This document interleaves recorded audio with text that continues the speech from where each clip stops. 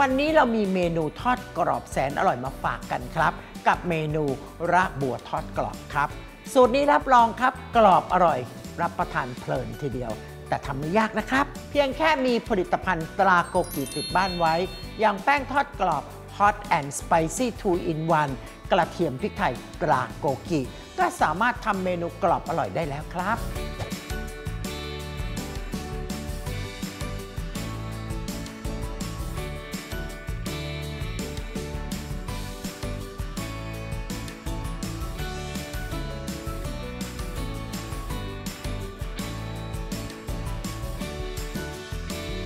รากบัวทอดกรอบ วิธีทำ ใส่แป้งทอดกรอบ Hot and Spicy 2 in 1กระเทียมพริกไทยตราโกกิลงในภาชนะ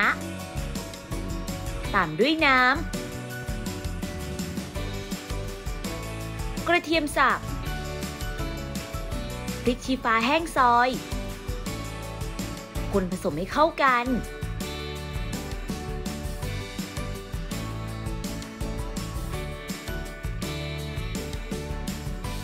นำรากบัวต้มสุกลงชุบให้ทั่วทั้งชิ้น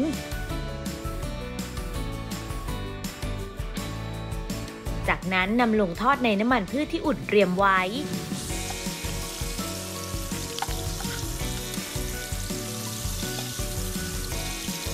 ทอดจนสุกเหลืองกรอบตักขึ้นพักให้เสด็จน้ำมัน เตรียมไว้ค่ะ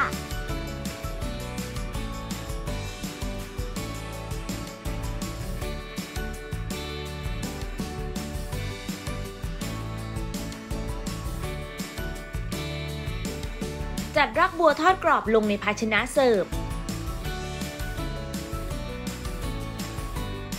โรยหน้าด้วยผงสไปซี่ในซอง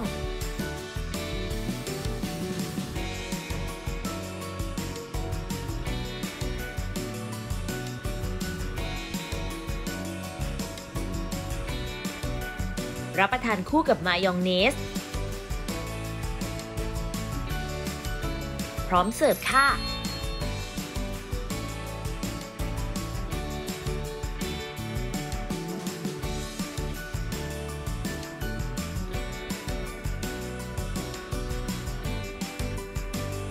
เสร็จเรียบร้อยแล้วค่ะทำง่ายมากๆเลยใช่ไหมล่ะคะ กรอบอร่อยทันสมัยใช้โกกินะคะ